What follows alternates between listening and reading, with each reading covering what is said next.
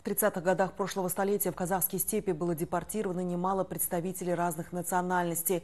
Здесь они обрели свою вторую родину и внесли немалый вклад в развитие страны. В Крамакшинском районе состоялась вторая международная научно-практическая конференция памяти Вахида Губанова «Физиология и медицина. Актуальные вопросы физического воспитания».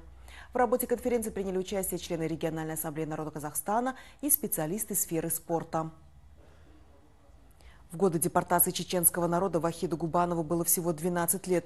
57 лет своей жизни он посвятил земле, которая стала для него родной. Был передовиком производства на Жусалинском механическом заводе. За свой самоотверженный труд, за вклад в укрепление единства и согласия он был номинирован в 2000 году на звание «Человека тысячелетия». Удостоен медали Ерений Бегушин. Мы и так были сближенные народы, мы и так были как родные, но он еще сильнее сблизил. Это нужно не нам, сегодняшним живущим, это нужно завтра подрастающее поколение. Продолжались открытым областным турниром по дзюдо.